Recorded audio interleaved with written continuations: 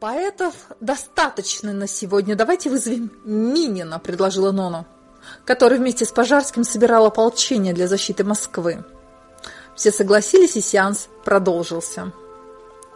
Блюдце обижала круг, знакомясь с алфавитом, затем написала разочарованно. Буквы-то изменились. Не так пишете, некрасиво. Но что вы ответите нам на вопрос о любви? Любовь – это мед, сластящий нашу жизнь. А что, по вашему мнению, означает измена? Измена, старушка скользка, как лягушка, ответил дух Минина. Что такое ревность для вас? Ревность – это деготь в бочке меда. А что вы можете сказать о человеческой глупости?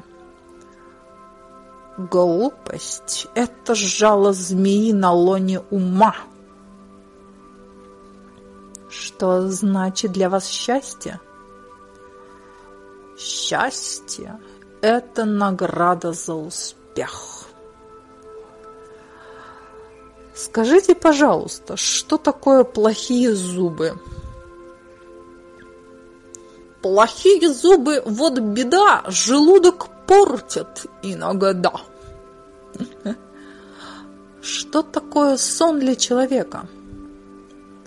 Без сна на свете трудно жить, и вам поэтому надо быть.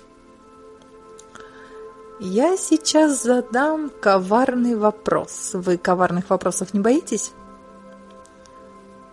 Мы полчища врагов выдерживали а коварство сдерживали любовью.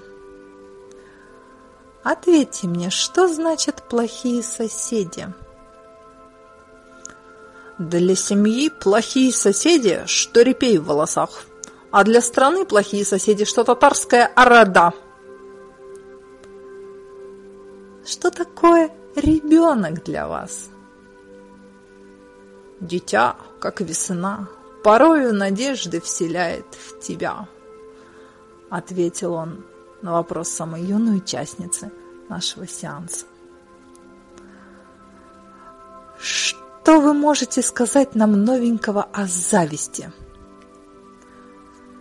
Яд зависти губит ростки молодые. Она, как анчар, отравляет живое. Где в душах она, это место гнилое.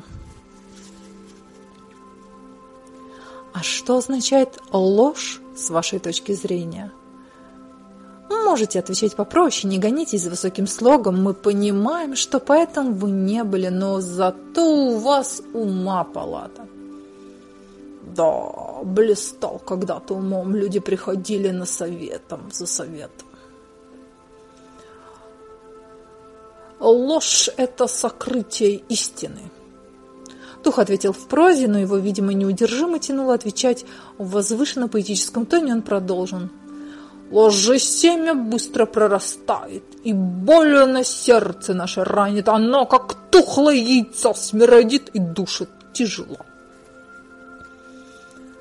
«Что такое жизнь?» – спросила Лариса С. Жизнь – категория простая, но много трудностей храня, она нас ими закаляет, и мы в ней стали как броня. Что вы скажете по поводу сомнений? Сомнения. Проще не бывает, оно как тормоз нам мешает.